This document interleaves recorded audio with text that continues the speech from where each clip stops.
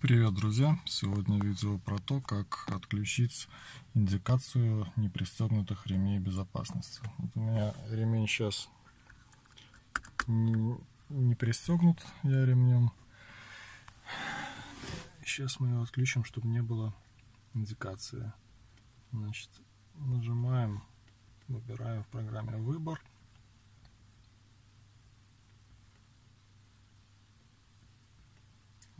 Выбираем комбинация приборов.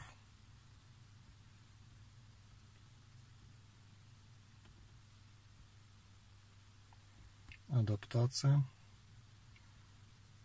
Выбираем канал.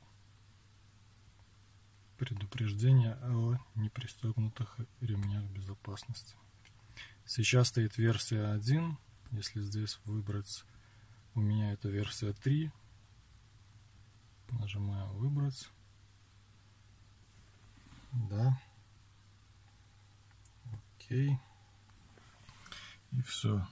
Э, индикации на щитке приборов нету, хотя ремень безопасности не подключен. И на щитке приборов нету индикации о непристегнутом ремне. Ставьте лайки, подписывайтесь на канал. Всем удачи!